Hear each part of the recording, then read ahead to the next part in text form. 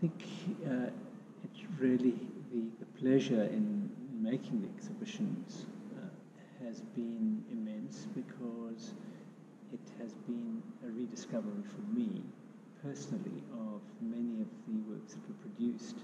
in the 1960s and 70s when I was a boy and seeing them um, being shown in Guenther's gallery and eventually in the Goodman Gallery. But